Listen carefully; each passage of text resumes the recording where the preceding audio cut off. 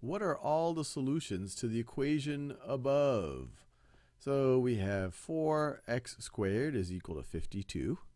Well, if we want to solve for x, we can just divide both sides by 4.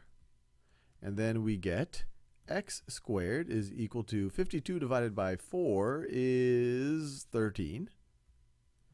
So x could be equal to, if x squared is equal to 13, that, that means x could be the positive or the negative square root of 13. So x is going to be equal to the positive or negative square root of 13. And you could check your answer. Take positive 13, if you if you take or take the take positive square root of 13, well, if you square it, you're going to get 13, and then multiply it times 4, you're going to get 52.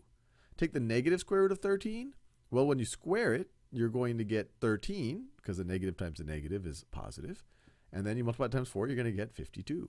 So x could be negative square root of 13, or and or or x could be x could be or the two solutions are x is the negative square root of 13 and x is equal to the positive square root of 13. So that's our choice right over there.